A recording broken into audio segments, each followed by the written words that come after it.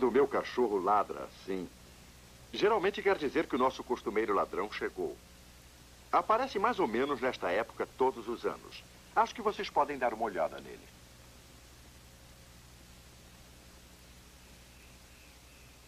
Bem, lá está ele. Com máscara e tudo. A visão daquele pequeno animal roubando o nosso lixo tornou-se tão rotineira que já quase pensamos que ele é nosso. Meu filho mais moço, Nick, batizou de Rocky. Às vezes deixa-lhe um petisco como uma maçã. Não é nada incomum os mãos peladas assolarem uma horta, um celeiro ou um pomar no seu quintal. Primeiro, eles adoram comer. E além disso, são muito inteligentes. O Rock se dá muito bem aqui neste bairro.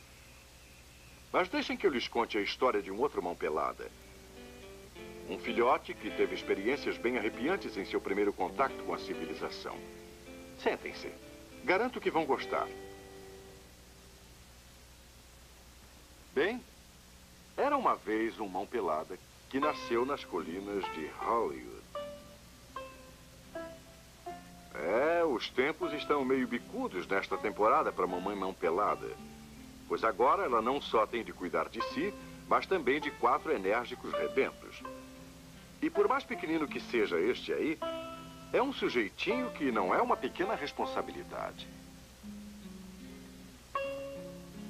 Aventureiro, audacioso e às vezes mesmo tendo de ser cara de pau, o seu nome é Zorro.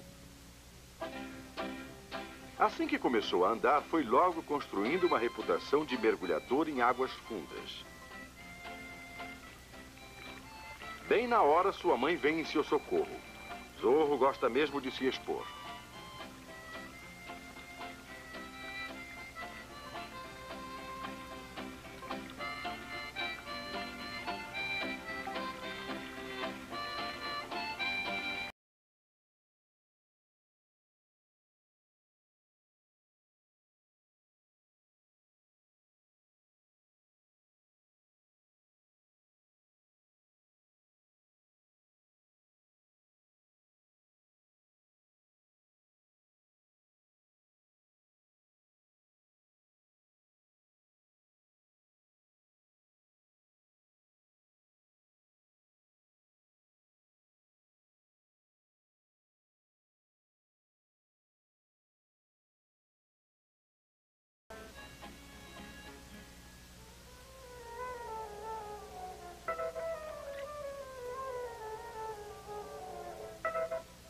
Zorro agora tinha dois meses de idade. Até esse momento, sua vida tinha sido uma existência mais ou menos sem aventuras. Mas afinal, nunca antes tinha se metido com um gavião.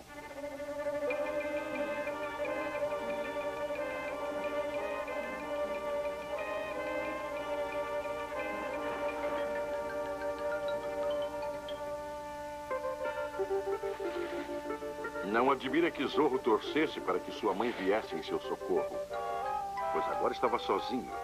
E só o que tinha do seu lado era uma dose extra de coragem e uma dose não menor de sorte.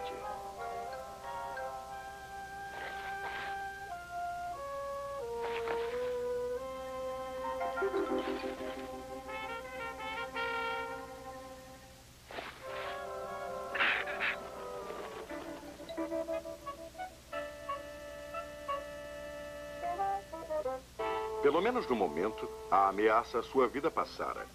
Mas, na verdade, Zorro nunca estava realmente fora de perigo. Parece que tinha um faro para se meter em encrencas.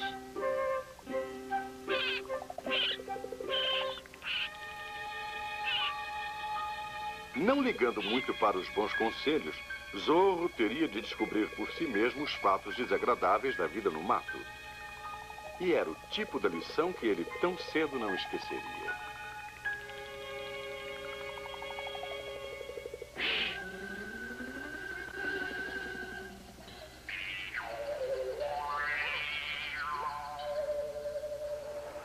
Mas a natureza sempre lava uma multidão de pecados. E sem tardar, Zorro viu-se de volta à trilha das altas aventuras. Não pesque. É um fato natural os mão peladas gostarem de peixe. E Zorro não é uma exceção. Se, no entanto, ele soubesse ler, o filhote teria sabido que a truta era pupila do parque municipal. Mas, afinal de contas, um apetite voraz era a única coisa que Zorro compreendia.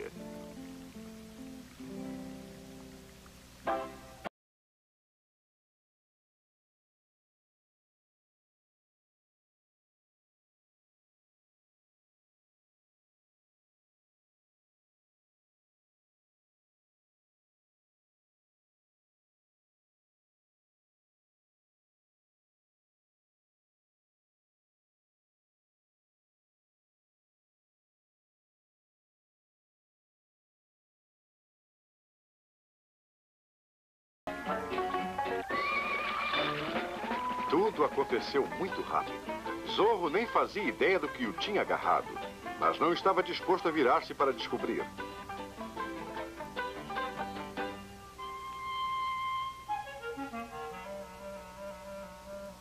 Era uma espécie de lagosta com dois ferrões enormes. A primeira que Zorro tinha visto. E pela parte que lhe tocava, seria ótimo se fosse a última mesmo.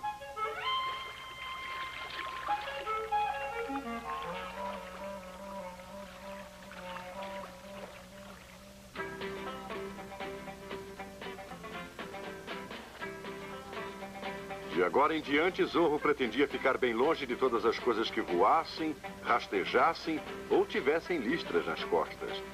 E, para ser franco, ele não estava se ajustando muito bem ao modo de vida na mata.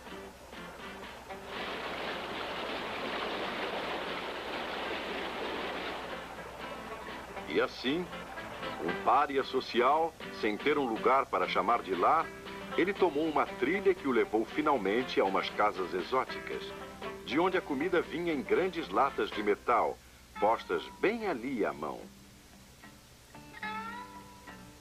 Comparado com a luta que tinha de travar no mato, atacar uma lata de lixo era uma barbada. E pareceu a princípio que os maus tempos tinham acabado, quando de fato os verdadeiros problemas de Zorro tinham apenas começado.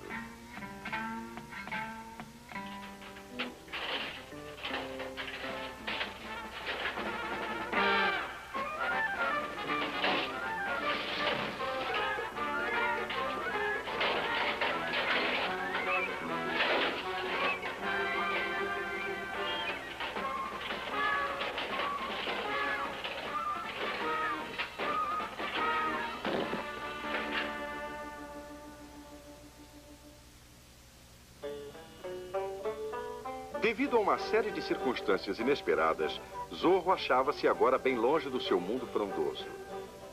Um campo todo novo para explorar. O pequeno guaxinim nunca tinha visto uma fazenda. E parecia certo de que aquele lar não se parecia nada com o que ele recordava lá nas colinas. Em suma, era o tipo de lugar que convidava para um exame mais de perto.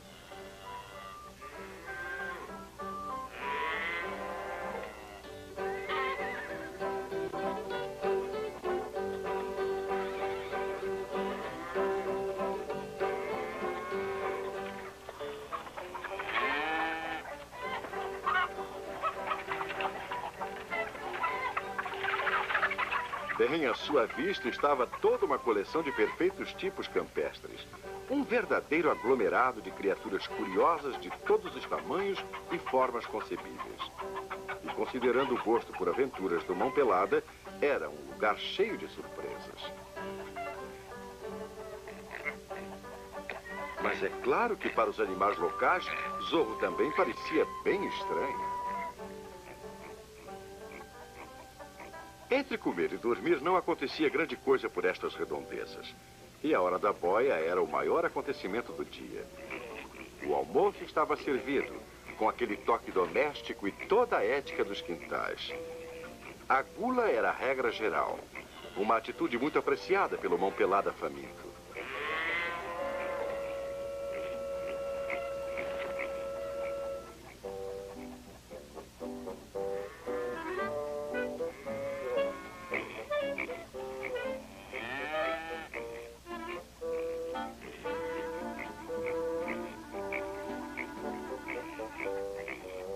Um apetite tamanho família e um paladar democrático para combinar, Zorro bem que aceitava qualquer sobra. E depois, mão pelada nenhum era exigente para desprezar o que viesse.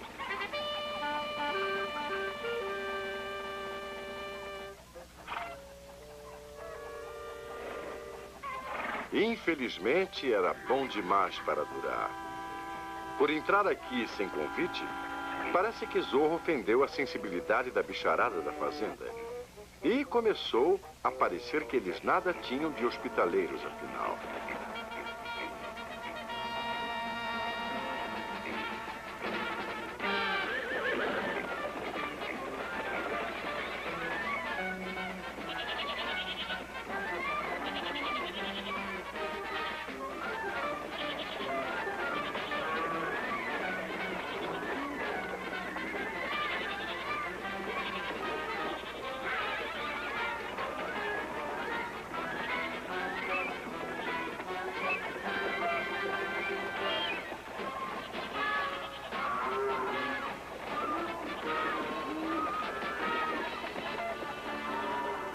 Foi o tipo da experiência que abalou a confiança do Zorro no mundo exterior. E ele retornaria contente para casa imediatamente se não fosse pelo fato de agora estar completamente perdido.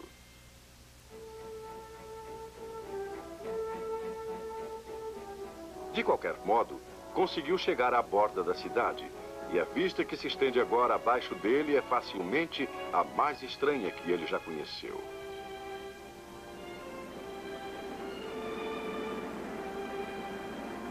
Se tivesse antes qualquer experiência com cidades, teria corrido para o lado oposto. Mas agora tinha fome e sentia-se só também. E parecia que a civilização era a sua solução. Os subúrbios da cidade estão tão pouco familiarizados com um animal desses como qualquer local no seu gênero.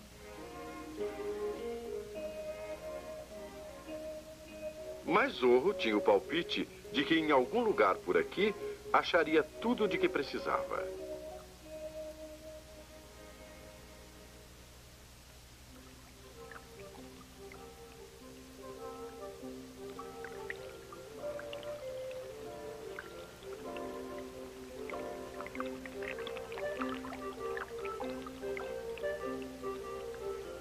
Hum. Até agora, a vida suburbana era muito boa. Zorro começava a sentir-se como em casa. Ora, o pessoal até tinha deixado coisas especiais, como se já soubesse que ele vinha.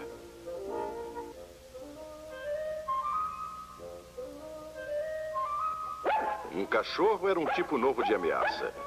Mas Zorro captou a mensagem imediatamente. Ele não era louco.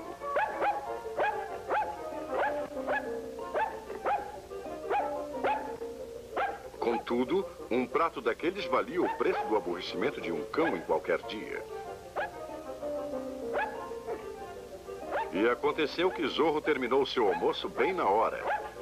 E querendo ou não, já estava pronto para sair correndo.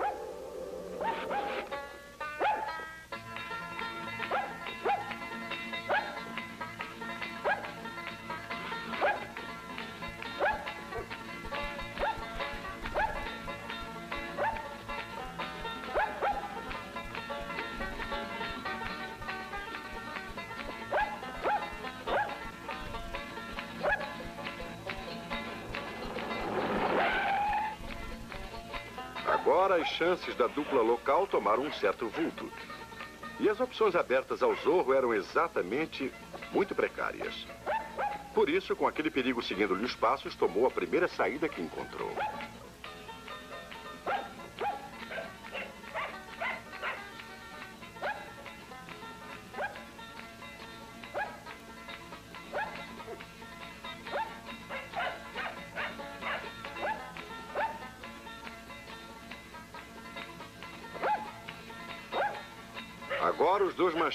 Vão levar o resto do dia para imaginar para onde pode ter ido aquela peste de animal.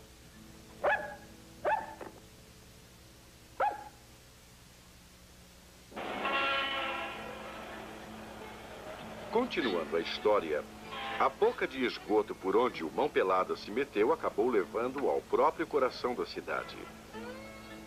E o nosso herói aqui se encontra observando fascinado o tumulto confuso da cidade.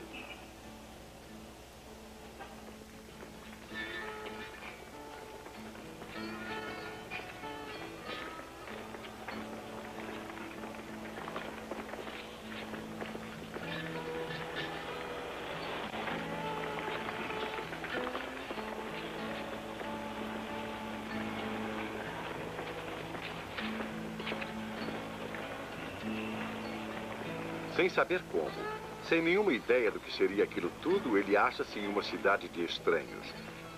O mundo inteiro em vistas e sons pouco conhecidos.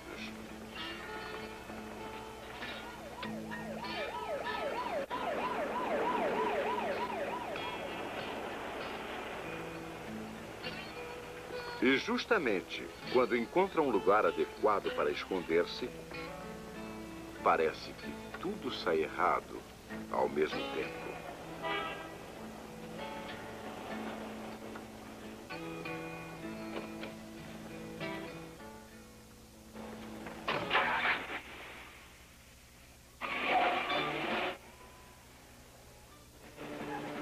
E assim foi, por uma escolha ditada pela necessidade, que ele acabou indo ao cinema naquela tarde.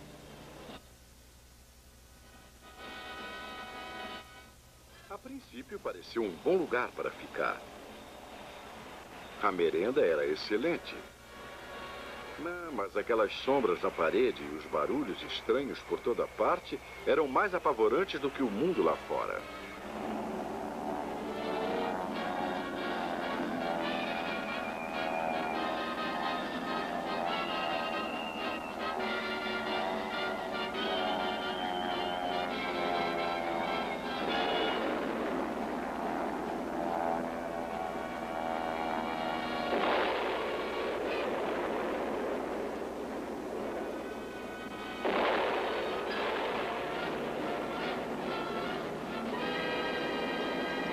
Não, isso não era lugar para um mão pelada medroso.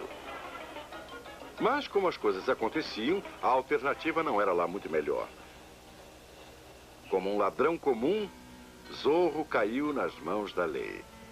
Neste caso, o Departamento de Regulamentação de Animais, o birô responsável em tirar animais selvagens como ele das ruas movimentadas da cidade. E agora parece que as travessuras brilhantes do pequeno Mão Pelada chegaram a um fim sem glória.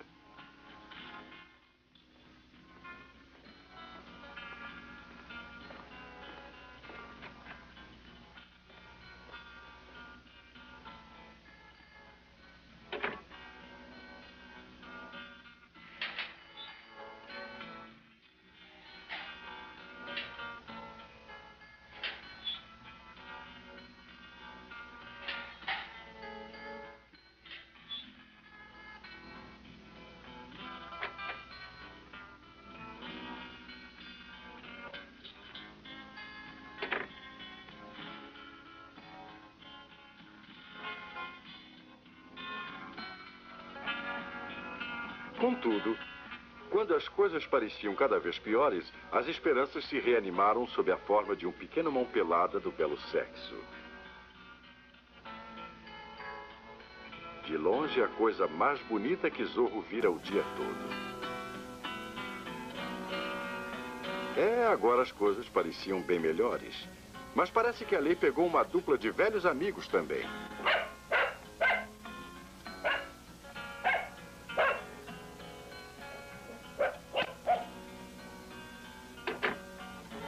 Assim, permanece o fato do Zorro ser um detento, com uma gaiola entre ele e o objeto de todos os seus desejos. Mas, afinal, o Mão Pelada trabalha muito melhor à noite. E, sem a mínima dúvida, Zorro é um dos mais hábeis e mais bem dotados em dedos leves entre seus colegas vivos.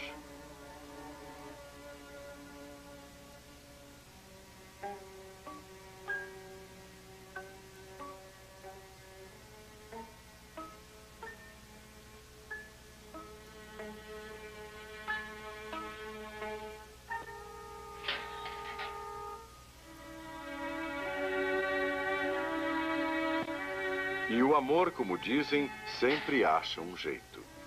E foi assim que dois pequenos mão peladas, perdidos, acabaram enfrentando a sua sorte juntos.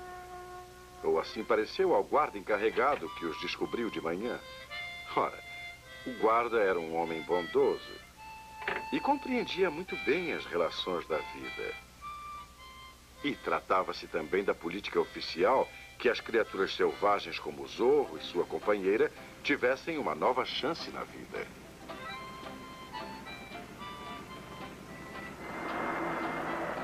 E assim foi decretado que o casal feliz viajasse junto, para longe da cidade e de todas as obras do homem, para um abrigo que poderiam chamar de lar, em uma terra hospitaleira, onde nunca se ouviu falar em fazendas ou cinemas. Aqui, para os dois felizes nômades, a trilha de aventuras ia afinal terminar.